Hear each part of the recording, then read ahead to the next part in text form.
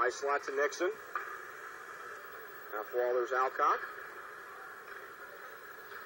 Back to the high slot for Nixon. Top of the right circle, Cole. There's Cole with a shot. He scores! Scores in the final seconds of the Kingston power play. Nathan Cole with a good cross-ice feed from Cody Alcock, and the Frontenacs lead it 3-1 with a pair of power play goals. Nathan Cole, his third goal in two games against the Otters this year. Good tic-tac-toe passing play. Alcock right in front to Cole, who slams it home through the blocker side.